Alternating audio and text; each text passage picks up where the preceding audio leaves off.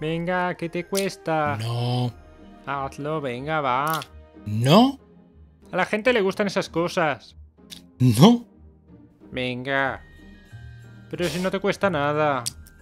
Hazlo. Si lo hago, ¿prometes callarte un rato? Mm, puede que sí, puede que no. Ya veremos.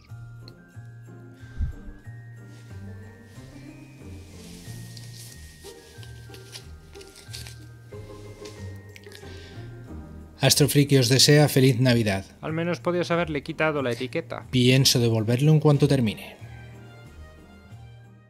Si te gustan mis vídeos, suscríbete y deja un comentario si te apetece.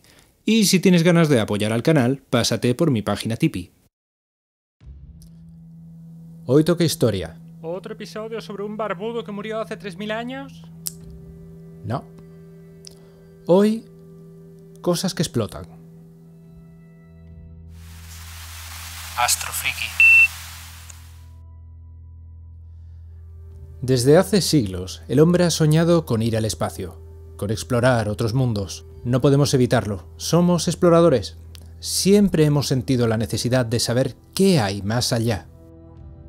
Este deseo nos ha empujado a explorar el planeta, los mares y el cielo. Así que, una vez conocido cada rincón de nuestro planeta, miramos las estrellas, anhelando conocer sus secretos. Pero hay un problema. Para explorar la Tierra, nuestros ancestros inventaron la rueda y la montura, perfeccionando la tecnología hasta llegar a los vehículos actuales. Cuando tocó explorar los mares, inventamos el barco y más adelante el submarino. Para explorar el cielo, inventamos los globos aerostáticos y los aviones. Pero, ¿qué se necesita para explorar el espacio? Vayamos un poco atrás en el tiempo porque no se puede hablar de cohetes sin hablar de China. A finales del siglo XII aparece la primera edición del Wolong Jing, un manual que recoge todas las recetas de pólvora descubiertas hasta entonces y todas las armas de fuego que se han desarrollado hasta el momento. Lanzallamas, granadas, minas, arcabuces y, por supuesto, cohetes. Incluso se describen cohetes de dos etapas antinavíos. Para poner eso en contexto, en el siglo XII, un guerrero europeo se parece a esto y va equipado con esto. Mientras tanto, en China se utiliza esto. Pero simplemente nos equivocamos de ingredientes. En China quemaron carbón, azufre y nitrato de potasio y lo llamaron pólvora. Aquí quemamos brujas, herejes y judíos y lo llamamos la Santa Inquisición. Ya estabas tú tardando en decir una burrada. Y antes de pasar al siguiente avance en cohetería, una anécdota. Cuenta la leyenda que el general Wang Hu quería ir al espacio, así que ordenó construir una silla de bambú con dos cometas y 47 cohetes unidos a ella. El día del despegue, Wang Hu se vistió con sus mejores atavíos, se sentó ceremoniosamente en la silla y ordenó a los sirvientes que encendieran los cohetes. Tras hacerlo y correr a ponerse a cubierto, oyeron una gran explosión. Una vez que el humo se disipó, no quedaba rastro ni de la silla ni de Wang Hu. Como digo, solo es una leyenda, pero suena lo bastante estúpida para ser cierta. En cualquier caso, en el Centro Espacial Marshall se exhibe una ilustración de Wang Hu y su silla, y hay un cráter en la Luna con su nombre en honor del primer astronauta de la historia. O casi. Durante los siglos siguientes, los cohetes de combustible sólido continuaron evolucionando como arma, pero tampoco demasiado tubo, pólvora, fuego... ¡pium! En cuanto a ir al espacio, no es aconsejable en un cohete de combustible sólido, ya que una vez encendido es imposible controlar su potencia o su duración, y no hablemos de apagarlo y volverlo a encender. Es una tecnología potente y barata, pero no es precisa. Haría falta un avance extraordinario para pasar al siguiente nivel, y la persona que logró ese avance tiene apellido europeo. ¿Von Braun? No, pero Von Braun reconoció que su trabajo fue inspirado por este hombre, Robert Goddard.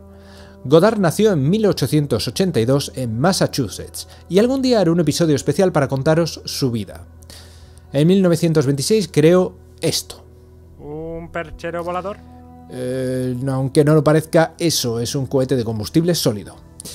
El primero del mundo, seguido de otros muchos, a pesar del desinterés total del gobierno americano de la época y con la única ayuda de la financiación privada, Goddard desarrolló él solito casi toda la tecnología que, aún a día de hoy, se utiliza en cohetería. Y sí, a los Estados Unidos los cohetes de Goddard se las soplaban, pero a los alemanes no. El Estado alemán prestó mucha atención al trabajo de Goddard y no tardaron en encontrar su propio genio científico para darle forma. ¿Von Braun?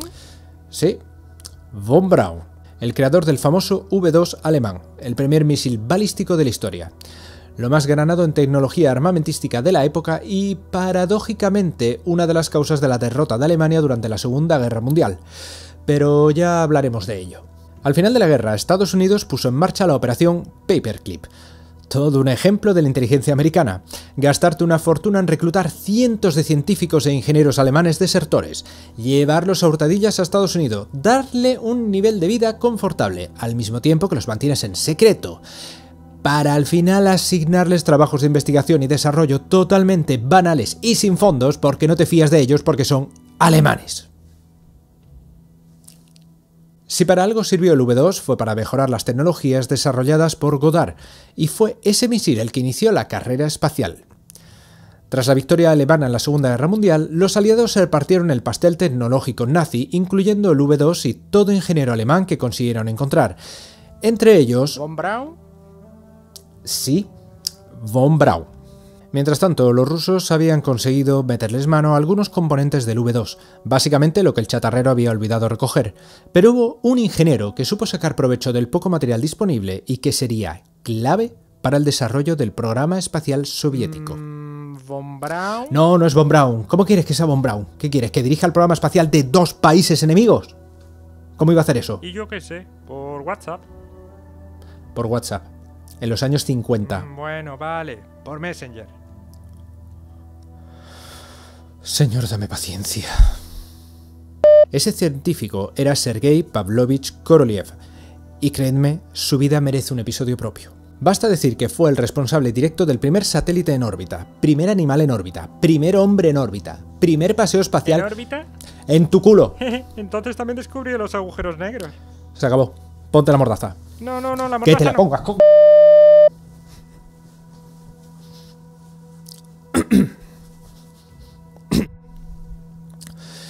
El trabajo de Korolev fue tan impresionante que aún a día de hoy, el sistema de lanzamiento Soyuz, creado por él en los años 60, sigue volando, y hasta el éxito de SpaceX y su cápsula Crew Dragon era la única nave del mundo capaz de llevar astronautas a la Estación Espacial Internacional. Otros países crearon programas espaciales propios, como Reino Unido y Francia, pero sus esfuerzos se vieron eclipsados por la lucha de titanes entre la Unión Soviética y los Estados Unidos para llegar los primeros a la Luna. Spoiler, ganan los americanos. Aparte de la creación de la lanzadera espacial por los americanos en los 80 como un fallido intento de crear un lanzador reutilizable y económico, no hay nada nuevo en el mundo de los cohetes. Hay avances, los sistemas se mejoran poco a poco, pero todo viene siendo más de lo mismo. Hasta el año 2015. Elon Musk, multimillonario sudafricano-canadiense, decidió usar una parte de la fortuna que había conseguido vendiendo PayPal para crear una empresa de cohetes espaciales, Space Exploration Technologies, conocida popularmente como SpaceX. El objetivo de Musk era hacer el espacio accesible a todo el mundo, abaratando costes de producción y concentrándose en la seguridad. Uno de sus objetivos más ambiciosos era crear cohetes reutilizables. Ah, sí, porque no hemos hablado de ello. El proceso tradicional es el siguiente. Fabricamos un cohete que cuesta cientos de millones de dólares. Lo usamos una vez y luego lo dejamos pudrirse en el fondo del océano. A continuación, fabricamos otro cohete desde cero. Y es por eso que el espacio es tan caro. Los gigantes de la industria se rieron de él, ya que se consideraba que era imposible o demasiado caro. Los únicos componentes reutilizables en esa época eran las carcasas de los booster, cohetes auxiliares de combustible sólido, y era apenas menos caro que fabricarlos desde cero. Entonces, ocurrió esto. Elon Musk crea un cohete, el Falcon 9, de combustible líquido cuya primera etapa vuelve a Tierra, aterriza por sí misma y es reutilizada en un vuelo posterior. Zas en toda la boca. ¿Y la mordaza? Solo soy una voz en off, no puedes amordazarme.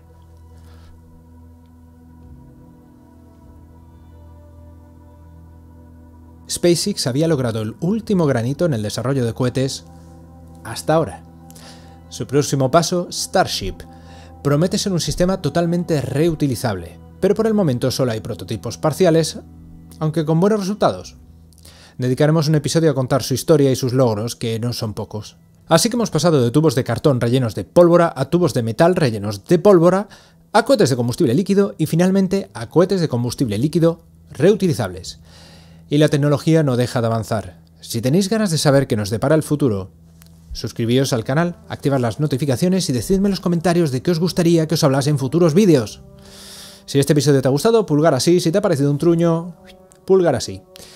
Espero veros en el próximo episodio, y hasta entonces, levantad la vista al cielo y sed astrofrikis. A más ver.